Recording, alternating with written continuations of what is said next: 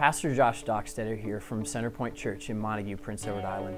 Thank you for viewing this sermon from one of our weekly worship meetings. I do hope that it will encourage and challenge you towards a maturity in Christ. We at Centerpoint believe in the local church, and we want to remind you that this sermon should only support the role and influence that your pastor and church family should have on your life and not replace it. If you aren't a part of the local church, I want to simply say don't rob yourself of the presence of others in gospel community, and don't rob others of your presence in gospel community. Find a church that preaches the Word of God, makes much of Jesus, and is committed to discipleship. And may the following sermon enrich you in the gospel for the glory of God.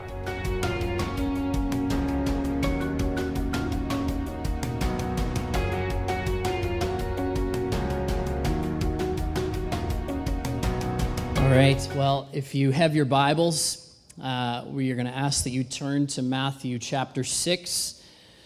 Matthew chapter 6, as we continue going through the Lord's Prayer together.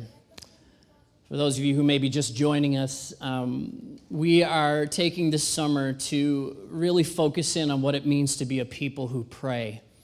And we're taking the example that our Lord has given us in how to pray um, and we're taking it line by line, looking at each aspect of the Lord's Prayer. And it's been a very challenging and a very encouraging at the same time uh, study for us as we work our way through the Sermon on the Mount. We began the Sermon on the Mount January, I think it was the first Sunday in January, and this is going to take us all the way to the end of November. Uh, the Sermon on the Mount, how things have been plotted out, and then we'll start something for Christmas. But I don't want to even start thinking about Christmas at this time when we're hoping for the good, warm weather. And uh, we're looking forward to um, the summer that is ahead.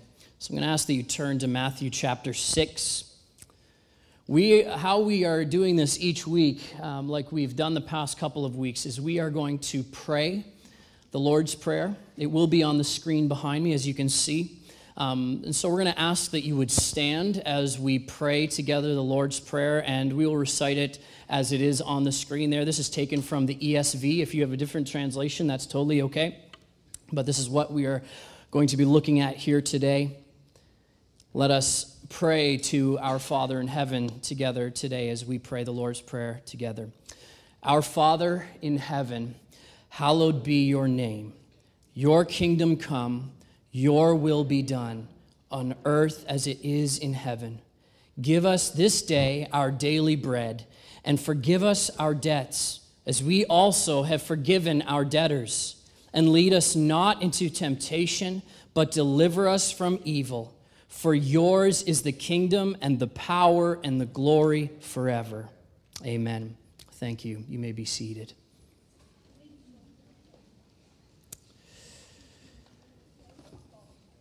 Well, again, as I said, the aim and focus of this series is that we would become a people who pray not just publicly together as a church, but also individually.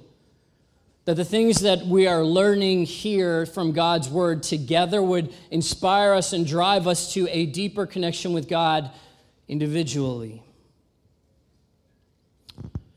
The last, last week we talked about, we entered into a new section of the Lord's Prayer, which is the main body of what the Lord's Prayer is about, and that is making requests of God. You remember our approach to God is that He is our Father in heaven. It is, there's no other word used there. Jesus thought it was so important that we understand God as Father.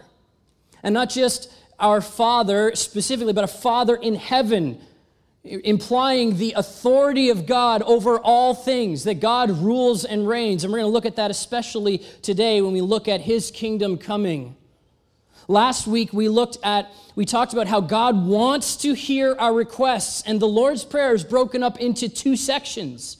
You'll notice that the first three requests, verses 10, uh, verses 9 and 10, say, Hallowed be your name, your kingdom come, your will be done. This is calling us to see the glory of God. And when we, when we pray and plead for the glory of God to be seen and known in our world, it then prepares us to then make requests of Him for what we need. So there's two sections in the Lord's Prayer God's glory and our dependence upon Him. We see that in the second half of the Lord's Prayer where it says, Give us this daily bread, forgive us our debts, and lead us not into temptation, but deliver us from evil. We see that those things fit with the Lord's Prayer. And we looked last week about at the greatest request, the request that fuels all the other requests, and that is that God's name would be hallowed. That word hallowed is, is quite an old archaic sounding word, but it means to be made holy, made sacred.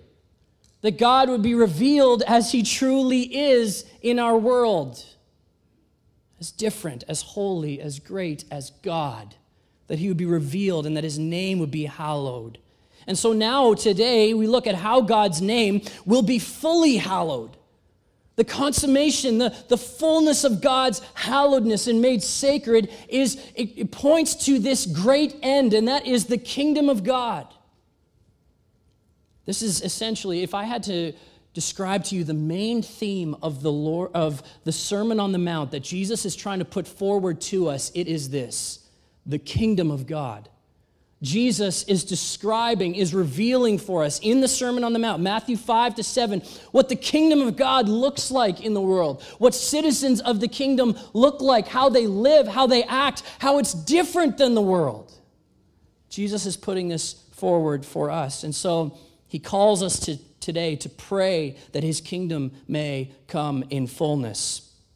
You know, knowing God as Father, when we enter into relationship with God as Father, and we know His holiness and His greatness, the hallowedness of His name, it points us to an ultimate ending. It points us to a, a zenith. It points us to the climax of, of what this is all about, what life is all about, what existence is all about. And the amazing thing about it is that while it's the ending of this life that we all know fairly well and have experienced its ups and downs, the kingdom of God coming in fullness is a new beginning. It is a new beginning. And what a great beginning it is for us. Now, the problem is when we think about God's kingdom coming, we actually find ourselves hard pressed to be thinking about God's kingdom coming, do we not? Because we've limited our sight to the kingdom of this world. And as such, our sight becomes limited. We become so fixed and focused on the kingdom of this world. We, we, we give ourselves over to the struggles and the happiness of this life, and those things draw us and draw our attention away and draw us to look at the things in this world more than the eternal kingdom of God who is going to come in fullness and in glory. And as such, our lives are driven by our experiences, by the things we face. We think that the fullness of life is what we want. Having that thing that we think will make us feel better. Or, God, if you would just take that thing away from me, maybe that you take that struggle away from me in life, then that would be what the fullness of life is all about. But Jesus is saying, no, there's something greater, there's something more. The kingdom of God coming in fullness that we as God's people get to hope for. Isn't this an amazing thing? Because the things of this world, if we read the scriptures, we will see that the things of this world are not fulfilling, nor are they lasting. Because we'll always want more. And we'll always keep giving ourselves over to the things of this world, never finding fulfillment, never finding true, lasting joy. And so, what Jesus is calling us to here today is to pray for God's kingdom to come. And I would put before you that when we pray for God's kingdom to come, although it is a future hope, it's something that strengthens life in this world in the here and now. It's actually something that can give fullness of life here and now because it is something lasting, it is something preserving. As Christians, we are called to keep our hope fixed on things above. Colossians 3, verse 1. It says for us to, to set our sights, since we've been risen with Christ, set our eyes on things that are above, where Christ is seated at the right hand of God. We are to look to Him. And when we look to Him, it does just as much earthly good as it does heavenly good. As C.S. Lewis has said, you know, those who are the, it's not that those who are the most heavenly minded are of no earthly good. It's actually the opposite. Those who are the most heavenly minded are actually the most earthly good. Because it's the people who think the most of the next life, who think the most of eternal life with God in heaven. Those are the people that are driven to impact this world for the glory of God. And that's what Jesus is calling us here to today. So let's dive into this simple phrase of three words in verse 10 Your kingdom come. Now, there's three things I want us to see. The first is this how we are to anticipate and hope for the kingdom, what God has revealed that his kingdom is and how it is coming. So, how is it that we hope for something? We hope for something. Think about how hope is birthed in us.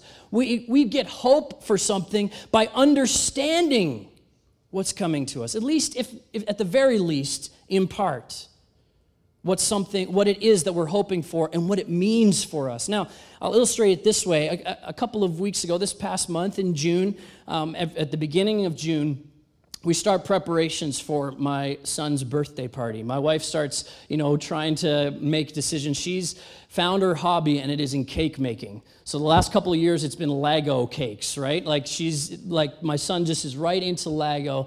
And so when June comes around, he sees all the preparations starting for making the cake, planning the birthday party. Now, he knows what this means. He's not experienced it fully yet, right?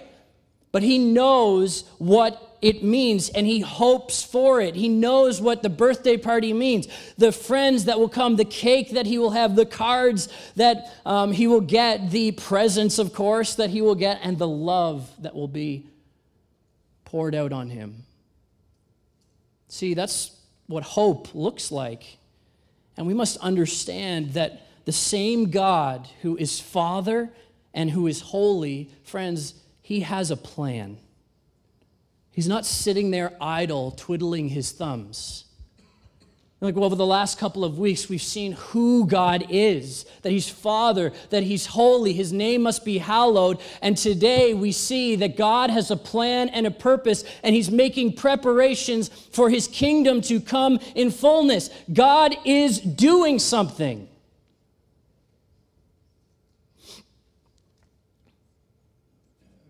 Let me just draw your attention to what the whole of Scripture tells us about what God is doing. We begin in Genesis chapter 1 with God creating all things, and in Genesis 2, planting a garden, a garden called Eden. And it's in that place where, in a garden, you might wonder, like, why does God plant a garden? Why doesn't He just make a palace, you know? Or why doesn't He make this awesome, cool city? No, God plants a garden. You ever thought about why it's a garden? In, in, for those of you who are gardeners, maybe you, you might know. In a garden, life is seen. In a garden, there's much production, right? There's growth. And in a garden, beauty is put on display. You know, this is, this, I think that gardens are actually a, a, far better representation of what a kingdom is than a palace because in a garden we see life, we see production, we see beauty put on display. And I believe this is why God plants a garden because he's, he's trying to put forward to us this idea of what his kingdom will be like. But I would put it before you in this way God's kingdom as it's defined in Scripture and as we see in the Sermon on the Mount, is far more than just a geographical place. It's not simply this um, structure or this gathering of structures put within a perimeter of a wall. It's not a palace, it's not a bunch of buildings. Rather, God's kingdom in the Bible is put forward as his authority and his ideals, his values put together in community. And that's what the garden represents. God reveals his beauty, his glory, his grace, his goodness, and he does so in connection to his creation. And the most prized of his creation, that being mankind, made in God's image. And then, as we know in Genesis 3, the rebellion happens where Satan and sin and death are brought into this world, and man falls into sin, and we are separated from God's authority. We are separated from God's ideals, and we are separated from God's community. Like man is kicked out of the garden, and God places an angel in front of the garden to hold back, lest man get back into the garden. And yet, in the midst of the curses that are put upon man, in Genesis chapter 3, there's a message of hope that one day there will come one from the seed of the woman who will crush the serpent's head and will establish the kingdom of God. And we see this all throughout the Old Testament. We see God making promises to his people, to Abraham, to David. To Abraham, he says, he says that he will make of him a great nation and all nations will be blessed through him. And then to David, he says, You will not fail to have a king on the throne. And all of this is pointing to this kingdom of God that is going to come in fullness. So, all throughout the Old Testament and even into the New Testament with the Pharisees, with the, with the Jewish leaders, the, these people, you got to understand when Jesus is preaching about the kingdom of God, this is something that tugged on their heartstrings. This is something that pulled them in deeper, that they're expecting God's kingdom to come again, to rule and to reign.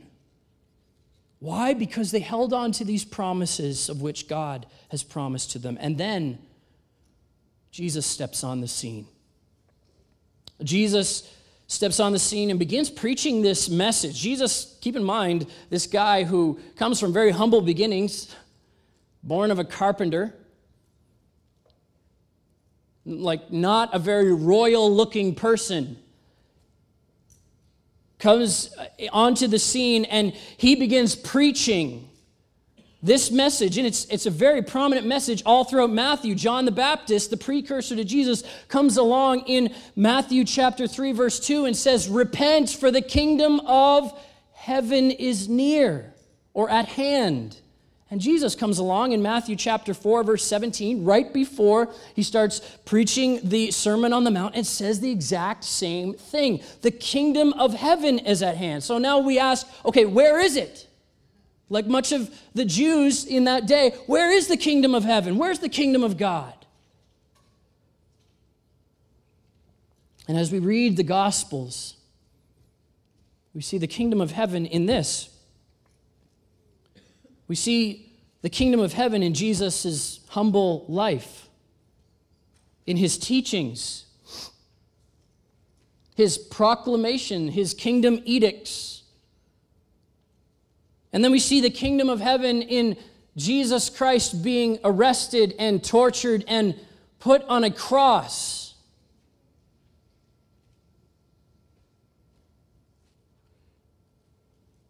We see the kingdom of heaven displayed in Jesus' life, his death, and then we see the kingdom of heaven displayed in Jesus' resurrection.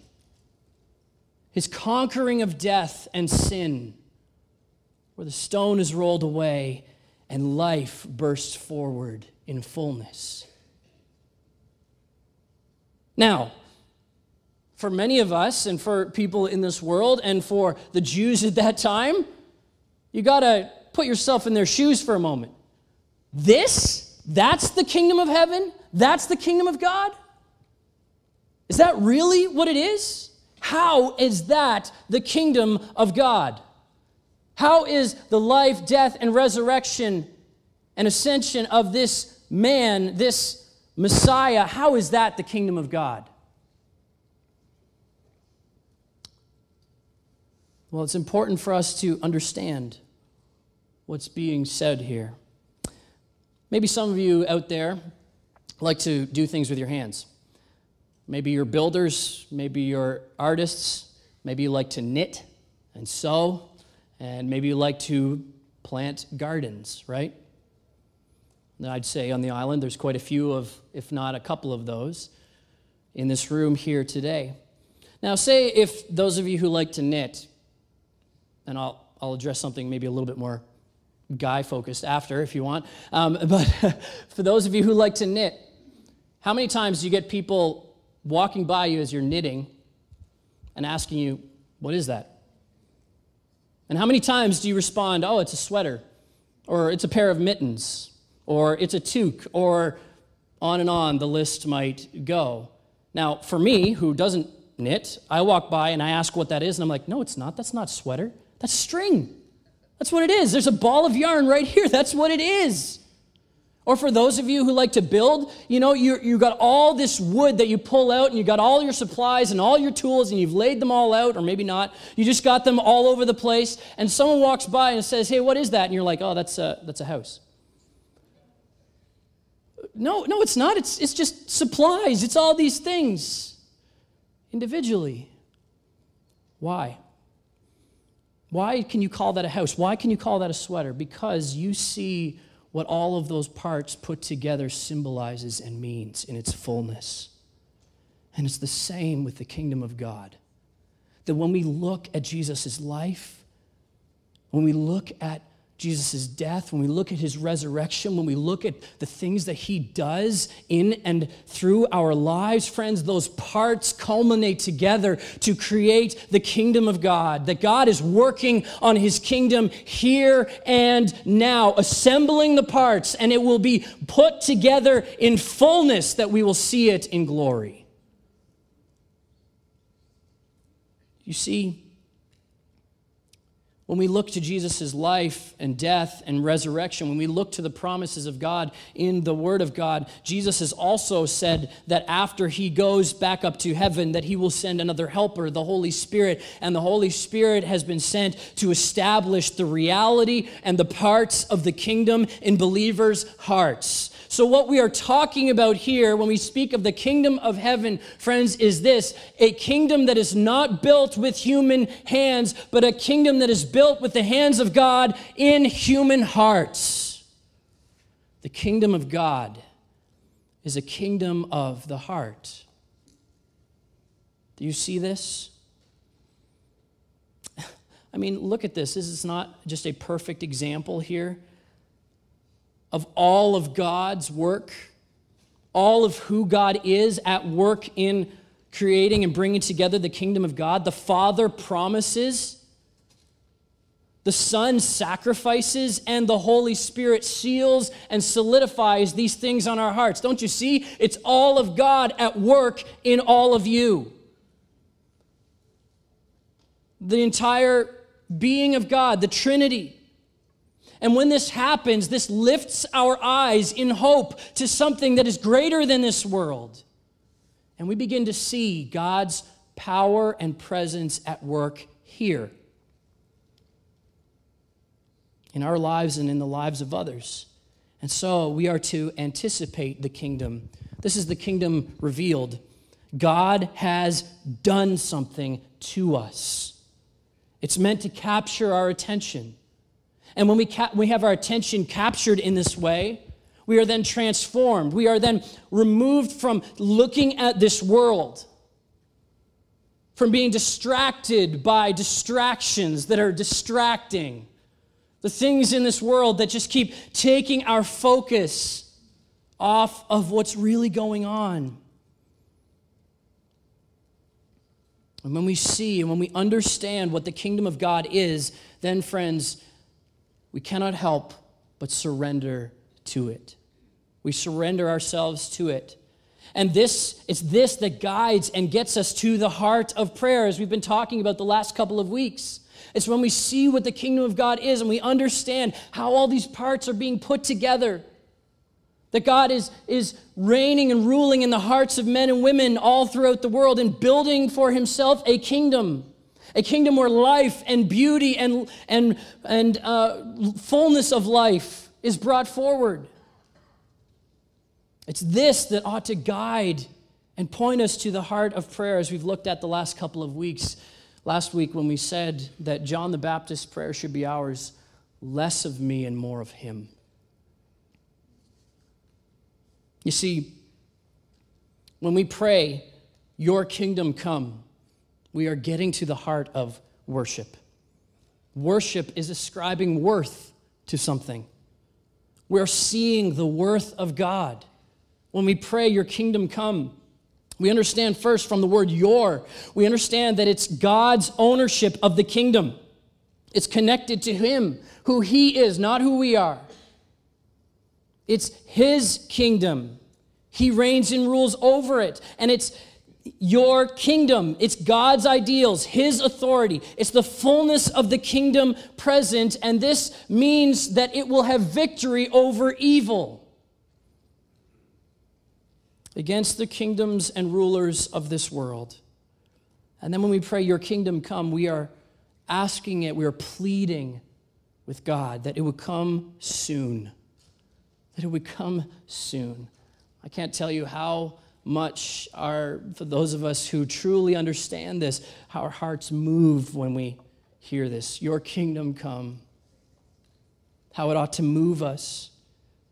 You know, uh, Phil Newton, he's a pastor in the States, has said something to this effect To pray, Your kingdom come without desiring it is taking the Lord's name in vain. To pray, Your kingdom come without desiring it is just paying lip service to God. It's not a transformation of the heart. It's not showing that our hearts are truly being reigned by God. Now, friends, it's very evident. It's very evident for us to see that God's name is not hallowed here in our world. Jumping back to last week. And it's that for that reason why we pray for God's kingdom to come, to come in fullness. And we realize that only God can make this happen. That's why we turn to Him in prayer. That's why we turn to Him, the author, the source. And we turn to Him in prayer and dependence and we say, God, your kingdom come. Your will be done on earth as it is in heaven. You see, it's all of God to us in establishing His kingdom, and it's all of us in surrender to His kingdom, to the kingdom of the heart. And this is what prayer ought to look like. We turn to God out of what He's done to us. That's relationship, it's twofold. God to us in revealing the kingdom, in, in putting this hope and anticipation in us, and us to Him in pleading with Him and praying to Him and connecting with Him in relationship that we might know Him more and grow and desire God's kingdom to come. And then lastly, we are, it doesn't just stay there. We are to be active in this world. We are to advance the kingdom. Understanding the kingdom puts in us a desire for the kingdom that moves us to advance the kingdom. God's work to us fills us to spill over into God's work through us to others. That it doesn't just stay between you and God, it works through you. That we are ambassadors of the kingdom of God to proclaim and to live out the ideals, the, the uh, authority of God in our lives. We are to put it on display. Just as a garden puts God's beauty and life on display, we as his people are to put these things of God the revelation of who He is on display in our lives. We do that by living under the authority of God for his ideals and proclaiming his kingdom. Paul says this in Philippians 1:21, "For me to live is Christ." It's not for me to live on Sundays is Christ, or for me to live at church is Christ, or for me to live when I got my Bible open is Christ. It's to live is Christ. And then, secondly, we are to preach the gospel. We are to use words, we are to use our lives, we are to, in every way, proclaim the gospel. That's not just something that's put upon me as a pastor, that's put upon all of you as Christians. If you are a follower of Christ here today, you are commissioned by God to make disciples, to proclaim the gospel, the good news of Jesus Christ to the ends of the earth. That's not something you pay someone to do for you. That's something that we all must do. We must proclaim the gospel of the kingdom. And let me just say it this way if it is something that's really important to you, if the gospel of Jesus Christ, if the kingdom of God is something that's really important to you, it's going to come out naturally. You ever notice sometimes you get really passionate about something, maybe like your workout routine or a diet that you're on or a certain kind of philosophy with parenting or, you know, some kind of ideal or some like awesome tool maybe you have? You ever notice that the more you think about it, the more you study it, the more you start to like consume those things and take them into your life and into your heart, the more naturally it starts to come up in your conversations? You're talking to someone, you know, about the weather and then you end up somehow talking about this great DeWalt tool, you know? Just somehow it comes out of your, your mouth, it comes out of your heart, it comes out of, you know, who you are, and you just start chatting about it. And you're like, whoa, where did that come from? Because it was in there in the first place. Friends, do we let the gospel rule over our hearts in that way? That it just so naturally comes out of our hearts and lives? We are to preach the gospel. I want us to think about the kingdom of God in relationship to the kingdoms of this world. I want to do so with the help of, if you could go to the next slide, please with the help of someone you might or might not know. Who's running the? If you can keep going to the next one, there's a picture that will show up. This guy. It might be hard to see. Do you see who that is? Anyone know who that is? Napoleon Bonaparte. Guy with really bad acid reflux, or what it seems like from his pictures, right? Napoleon Bonaparte, the French commander, the one who conquered a lot of Europe during his day had incredible military advancements. There was a time where Napoleon, at the end of his life, expressed the following thoughts while he was exiled on the rock of St. Helena.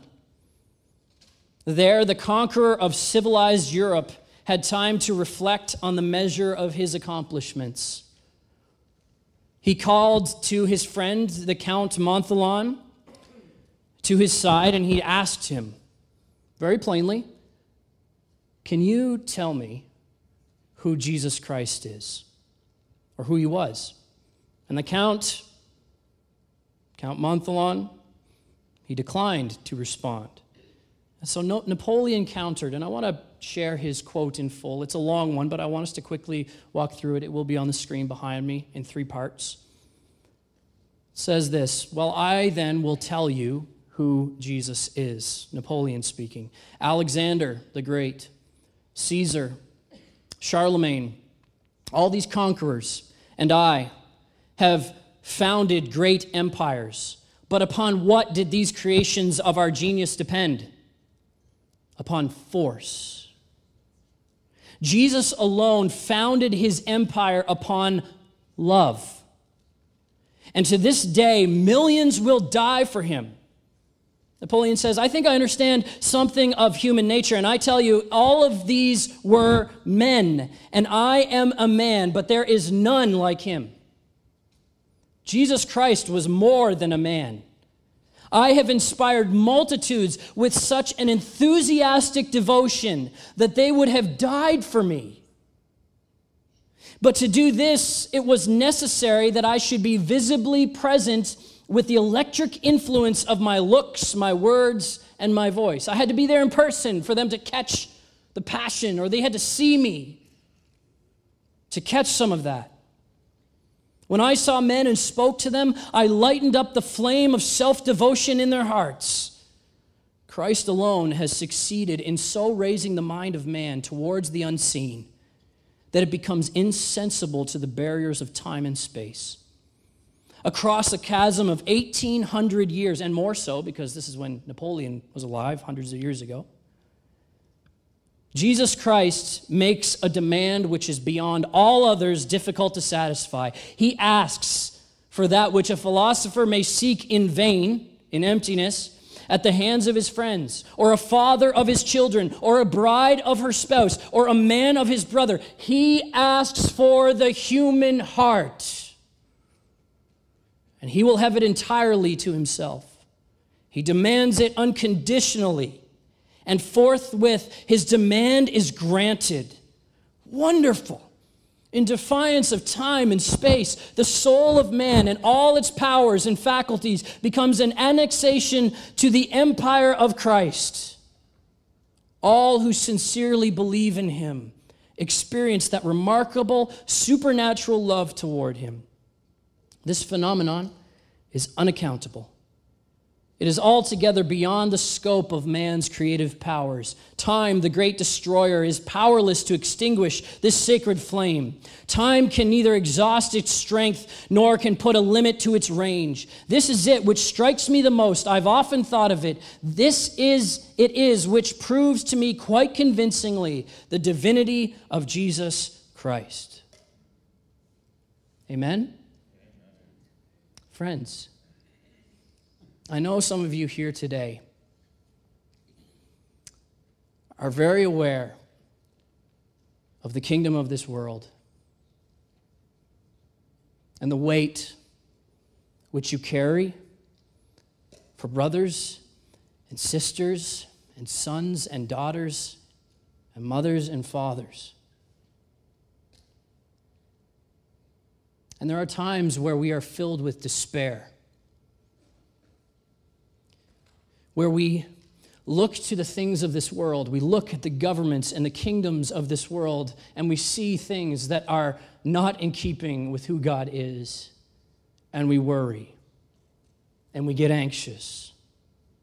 But, friends, there is a kingdom far greater that has lasted far longer, that will come in fullness, in greater power than any of the kingdoms of this world. So I ask you today are you looking for it? Are you living in light of it? And when we talk about God's kingdom coming, how, what does that stir in your heart? Paul Washer, a pastor again in the States, says this Christ's lordship is a blessed hope for some and a terrifying nightmare for others. Regardless of our response, it is an unalterable reality. So, friends, are we advancing the kingdom of God? See, praying God's kingdom to come strengthens life in this world as we anticipate eternity. And it's not simply a strength in life, as if it's a part of life, it is life. The hope that we have in Jesus Christ, which secures us for everything that has happened, will secure us for everything that will happen. Friends, otherwise, to what end are we living for? If this is just some positive thinking, if this if there's not a new beginning, friends, to what end are we living for? Is Christ's return a re- reality for you? Because if so, it affects how you live now. And we are to advance the kingdom of God even on our knees. Through prayer and through submission, even submitting our very life experiences to Christ. So, where do you stand? Because to take it even further, there's only two kingdoms in this world. There's no middle kingdom. You are either at any time in your life advancing the kingdom of God or advancing the kingdom of darkness. There is no middle ground in this, there's no sitting on the fence in this. Christ calls for us to understand the reality. You cannot be inactive in this. So I want to close this with this. Final question for us Do we really want God's kingdom to come? Or do you want Him to wait until maybe we succeed in our jobs, in our families? Or maybe we want, no, Jesus, can you just hold off? I, I really, really want to see my children grow up. Or I'm, I'm really waiting for that right person that I'm going to marry. Or I'm waiting for that right job. I'm waiting for that fame. I'm w- waiting for that fortune. Don't come back until I get those things. See, friends, when we pray, Your kingdom come, it exposes our hearts to the true desires that are in there. So, friends, we pray and we proclaim not the gospel of Jesus Christ, which is not just that Christ is Savior, but He is also Lord. See, this is more than just a get out of hell free card. So many people come to Christ and want Him as Savior, but they don't want Him as Lord. We proclaim the Lordship of Christ that is coming again, and one day every eye will see Him. Every knee will bow and every tongue will confess that Jesus Christ is Lord to the glory of God the Father. I'm going to ask that you'd stand as we pray. Let me close together. Oh God, we pray, hallowed be your name. We pray that your name would be made holy and that it would produce life in us. We pray that your kingdom would come because we believe you reign. Father, I pray that for those who are here this morning and don't know Christ as Savior and Lord, that today they, their eyes would be lifted to the King, the King of glory. That one day the kingdom of heaven shall come in fullness, and Christ will be our Lord, He will be our King, He will reign and rule. So, Lord, we proclaim this gospel of the kingdom, and may our lives be attuned to it, and may we advance your kingdom as we keep praying for anticipating it, and looking for it in the days and time to come. We pray this in Jesus' name. Amen.